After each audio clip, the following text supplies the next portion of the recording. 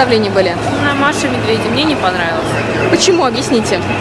Во-первых, не соответствует, мне кажется, персонажу тому, что было э, представлено, да, то есть говорящие звери, э, Маша какая-то скучная, ребенок у меня еле сидел.